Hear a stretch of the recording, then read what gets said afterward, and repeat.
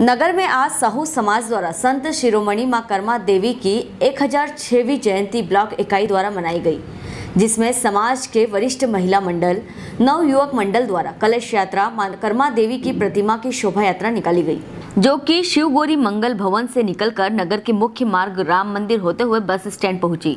साथ ही वृंदावन से आए कलाकारों की राधा कृष्ण की झांकी भी शोभा यात्रा में शामिल रही। उनके नृत्य ने नगर की जनता का मन मोह लिया।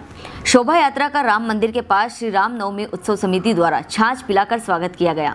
उक्त कार्यक्रम में नगर के सभी साहू सामाजिक बंधु उपस्थित रहे और कार्यक्रम को सफल बनाया। छपारा से आरिफ मोहम्मद की रिपोर्ट।